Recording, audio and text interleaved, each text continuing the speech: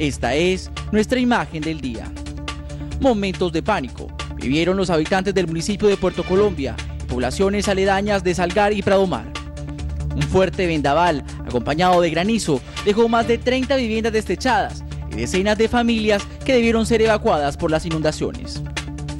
A esta hora, los organismos de socorro, acompañados de las autoridades departamentales y locales, realizan las labores de atención a los afectados. De este tema estaremos hablando en el transcurso de nuestra presente emisión.